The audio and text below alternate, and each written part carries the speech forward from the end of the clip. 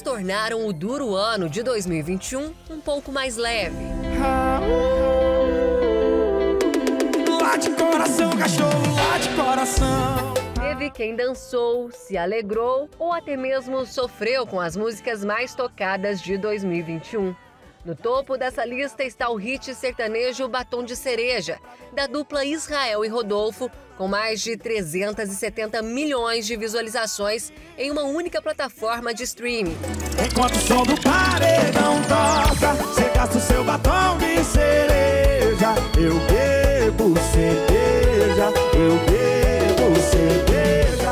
Para o produtor musical Jenner Mello, a explicação do sucesso da música está na mistura de ritmos. A Batom de Cereja, no meu ponto de vista, é uma música que ela resume o ano. Por quê? É uma dupla, é uma música de uma dupla sertaneja, mas ela também tem a batida do, do piseiro ali, tem a batida da música nordestina.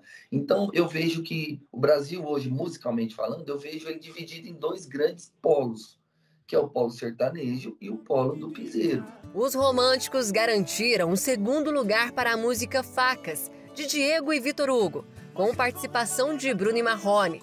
Foram 350 milhões de views. Você sabe que a gente não tem moral pra viver longe um do outro. Como se duas facas se riscassem procurando dois corações disputando quem é o mais forte. Numa mistura de pagode com pisadinha, Baby Me Atende, de Matheus Fernandes e Dilcinho, conquistou o terceiro lugar entre as mais tocadas de 2021. Também ultrapassando a casa das 300 milhões de visualizações. Oh, baby,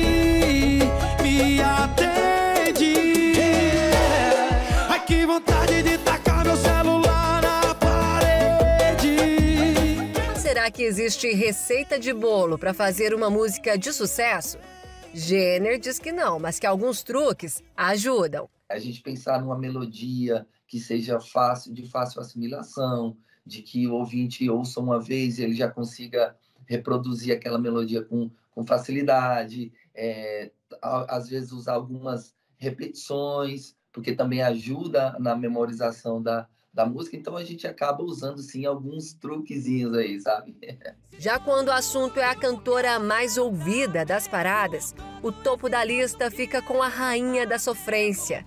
Marília Mendonça, antes mesmo de partir, já tinha conquistado o coração e os ouvidos do povo. Se todo mundo viu, por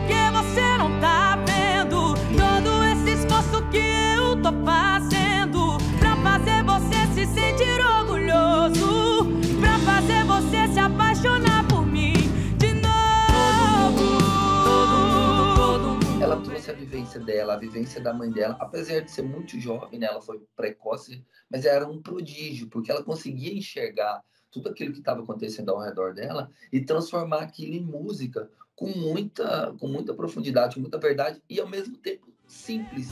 Na lista geral, Marília ficou em terceiro lugar, atrás apenas do sertanejo Gustavo Lima. Toma que doer, no caso eu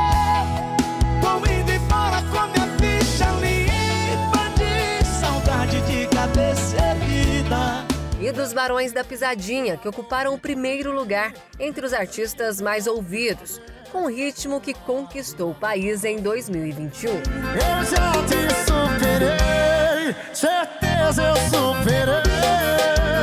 Mas eu vou dar mensagem outra vez, se não recair. Para quem é do ramo da música, já vale fazer suas apostas para os sucessos de 2022. O que eu vejo para o futuro, o que eu vejo para frente, é, é, cada vez mais músicas é, mixadas, vou usar esse termo, é, que, que pegam um pontinho daqui, uma influenciazinha dali, um saborzinho aqui, um tempero novo e junta tudo e para os nossos ouvidos vão, vai, vai surgir, vai soar algo novo. E é bom para nós, amantes da música, né? Que queremos ouvir e queremos ser sempre surpreendidos pelos artistas. Enquanto o som do paredão toca, você gasta o seu batom de cereja. Eu bebo cerveja.